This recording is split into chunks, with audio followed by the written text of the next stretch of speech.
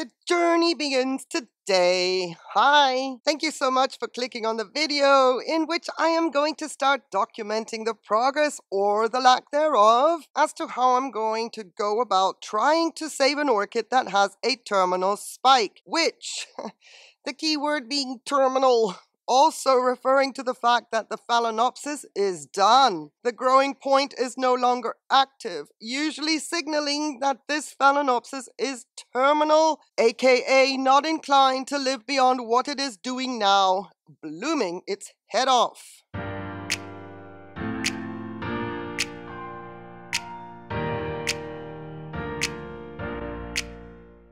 So that all sounded a bit radical, but in my experience, I have never managed to get a Phalaenopsis with a terminal spike to grow a keiki or a basal plant, which would ensure its survival. It could be the natural response of the orchid to do that because surviving is ingrained in its DNA. However, that normally occurs via pollination, seed pod, etc. In the case of my orchid, I am not going to be pollinating a seed pod in the hopes that I can, 10 years from now, see her blooms again. Instead, my intervention is going to be different and I will be documenting the measures I plan to take as and when I do them so that we can follow the journey of success or failure.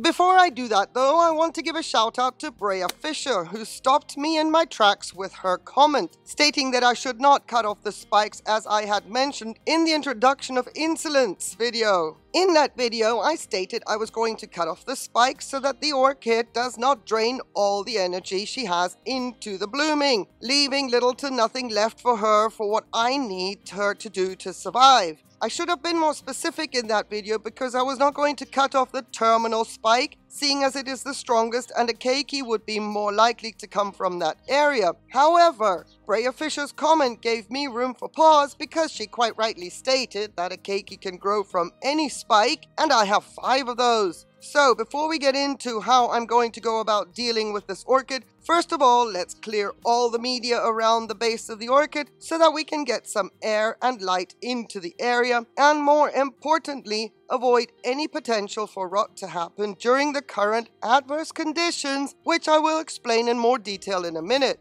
While I fiddle with this, please help the channel out by giving this video a like and subscribe if you have not already done so.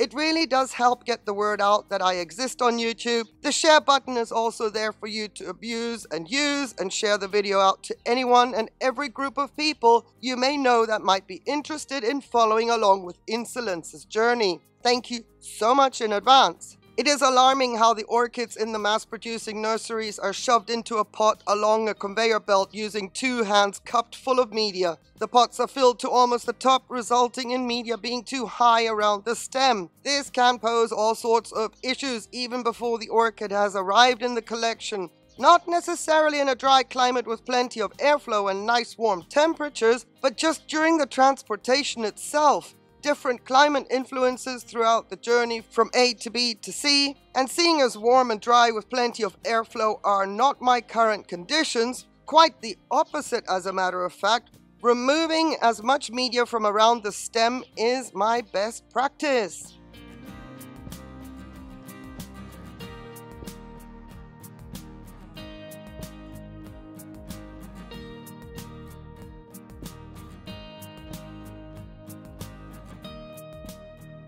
This is what we do not want to perpetuate itself at the bottom of the pot.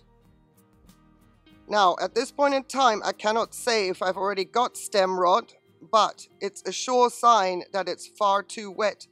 You can see how low this orchid is in the pot, and there is a leaf down here that is already yellow at the base, and oh my goodness, it's just coming out. Super easy. Oh dear. I do not like the translucent look right here at the edge of the leaf. Oh, this is bad. Not good news, not good news. Let's hope it's just because it's too deep in the pot and that it hasn't gotten to the stem. I'm going to continue. I'm right by the tissue of the seedling plug.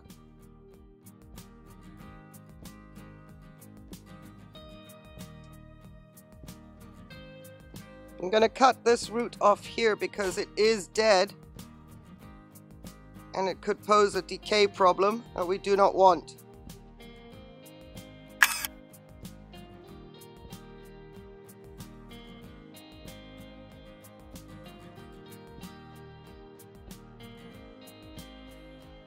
So it started to rain, but I continued diligently on with my business undercover. Now that it stopped, I'm going to show you everything I got out of the surface. I went down to the seedling sponge cleared the space all around the base and the stem of the orchid. I can't see anything except, uh, yeah, yucky looking roots, but this has me concerned. At least we've seen it, so we can keep an eye on that stem. Now, I'm glad that's done. We're ready for the next step. Finally, I get to give her a welcome cocktail of 100 parts per million of CalMag and 60 parts per million of seaweed at 7 pH. And I say finally because I've had this orchid for a good part of 10 days now, and she has not had any water since her arrival. The pot was good and wet when she arrived, and seeing that I wanted to film her journey, it was best to let the media dry out to some degree before giving her the CalMag and seaweed. So, I am going higher in my CalMag concentration this time around because the roots of this orchid are in a terrible state. The light she requires to photosynthesize is non-existent. The temperature preference of anything above 18 degrees Celsius is not reality in my grow space. It is lower and will be for the foreseeable future. As in, my current temperature high will only go to 16 degrees Celsius. Calcium will help with keeping the strength in her structures and the magnesium will help with the photosynthesis of the reduced light that she is currently exposed to. And I'm not filling the soak up to the rim of her pot only halfway because we need that area around the stem to stay nice and dry. The doses of my CalMag and seaweed are contrary to what I would normally do during the growing conditions I've just mentioned. I'm also adding seaweed in this mix because of the growth hormones that seaweed has. Even though the conditions are not ideal, I am banking on the hormones of the seaweed to get into the orchid well ahead of time before temperatures rise again so that when they do rise, my guesstimate is that there should be a nice concentration of hormones gathering somewhere ready to produce a plantlet or a keiki. And having added to the gaggle of hormones early, I am hoping that this will increase my chances of encouraging that additional growth. Normally, I do not add any growth hormones to my orchids while they are dealing with adverse conditions, but in this case, I hope to get ahead of the game and see what happens. If you're thinking keiki paste, I have tried that in the past before I had my channel and it did not work for me either. Maybe I got a bad batch of keiki paste, but yeah, I'm not going to purchase any more. Just keeping fingers crossed that administering seaweed will work in my favor.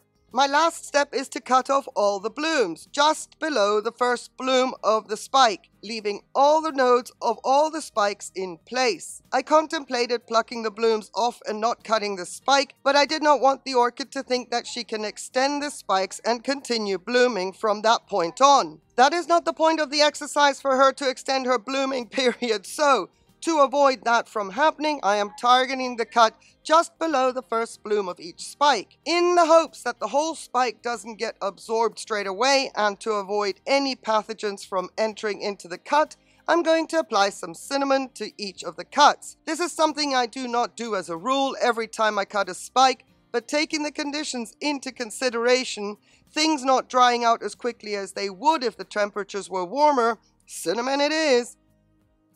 For the coming months, I will be fertilizing, flushing, and supplementing this orchid as if the temperatures were ideal. Having applied seaweed, that needs to be backed up with fertilizer in case she activates a keiki or a plantlet. Then the nutrients need to be ready and available so that she does not absorb all the energy that she has in the leaves. We need those and cannot afford to lose them. Repotting at this stage is not an option, not just because I do not have any active roots, but to reduce any form of stress. She is stressed as it is, she's got bud blast, that's normal, to be expected, but she is worse off stressed because of the state of her root system in the pot. Now, my fertilizer concentration will be 300 parts per million regardless, which is what all my large Phalaenopsis get. At a pH of 7, the same pH will apply when supplementing with CalMag and seaweed. It'll stay at the higher end of 100 parts per million for the CalMag and 60 parts per million of seaweed. And based on when temperatures rise and light influences increase, I may up the seaweed to 100 or 120 parts per million just to keep the momentum going. Should anything happen in the coming weeks that is worth documenting, I will have her back in the viewfinder and tell you all about it. For now, we wait. Thank you so much for watching. Your time is appreciated. If you watched this video to the end, thank you for that extra special support. Wishing you a wonderful day on one condition though, that you do stay safe. Take care. Bye.